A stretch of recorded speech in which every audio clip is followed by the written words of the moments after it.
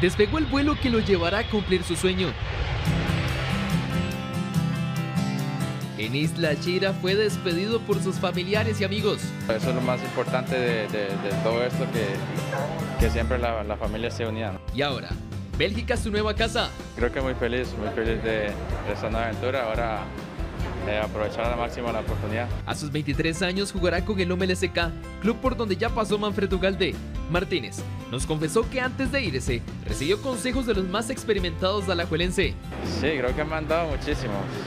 Ryan, eh, Celso, eh, conversamos cuando, cuando estábamos ahí en, en la, en la liga y nada, creo que son muchos consejos que, que, bueno, ahorita no me acuerdo muy bien. Martínez será una de las ventas más importantes de la institución rojinegra y se incorporará a su nuevo equipo en esta semana.